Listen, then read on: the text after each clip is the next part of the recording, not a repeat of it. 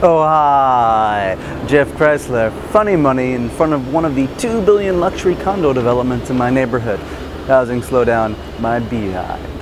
Let's do last week's business news now. You know what you never hear?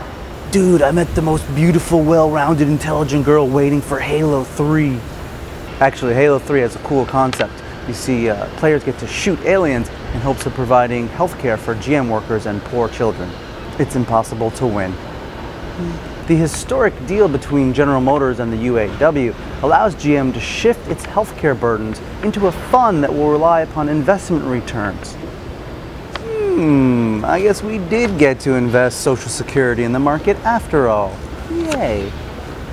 The CEO of General Mills resigned abruptly, but the company assured investors that it was still part of a healthy breakfast. That Mahmoud Ahmadinejad, he sure is bringing back casual Fridays, isn't he? The New York Times ran an article about the happiness gap between men and women, to which the Viagra Zoloft Propecia industry replied, and the Interior Department's program to collect royalties from oil and gas companies is apparently rife with mismanagement and political corruption.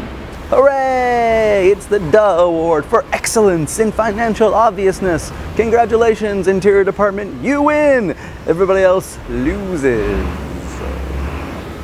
A California court refused to reopen a case about Winnie the Pooh royalties because the petitioner wasn't wearing pants and was clearly drunk on honey.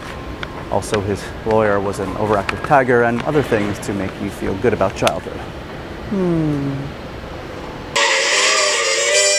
Finally, it is October, and a Boston based group has found conclusive evidence that the Yankees suck.